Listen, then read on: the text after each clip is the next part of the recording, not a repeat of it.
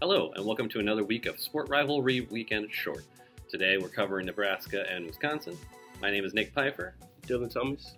and let's get right into it.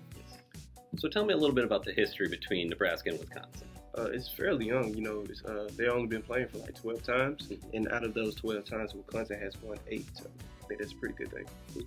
Yeah, Wisconsin's uh, a, a very winning team. Um, Nebraska has a new coaching staff um, with, uh, with Scott Frost. Yes. He's having some struggles there. Um, he's recently ranted at his team, telling them to clean it up, you know, get better.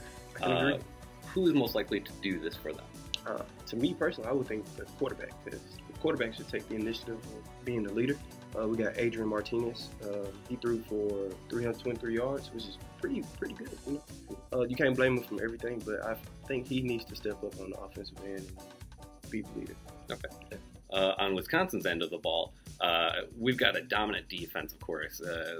They've constantly, throughout the last couple of years, been uh, one of the t- top teams in, Mhm. in the, the nation. Yes. Uh, you got D'Cota Dixon, you've got TJ Edwards. Mhm. Uh, these guys are going to be the anchors for that defense. For sure. But on offense, that's where it's exciting. You Yeah. got Jonathan Taylor, Heisman candidate.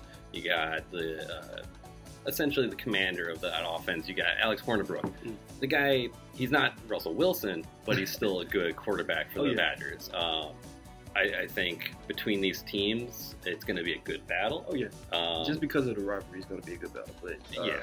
honestly, we all know deep down inside who, who may pull this one out. Yeah, I mean, you got uh, 16th ranked Wisconsin, Yeah. three and one versus an 0 and four Nebraska. Yeah. Um, And 0 4 Nebraska. I never thought I'd see that day, but hey. yeah. Well, new coach. Uh, it's there's gonna be some growing pains. Um, so obviously our picks. Uh, I've got Wisconsin. I got Wisconsin. All right. Yeah. So you can catch this game at 6:30 on the Big Ten Network. Thanks for watching.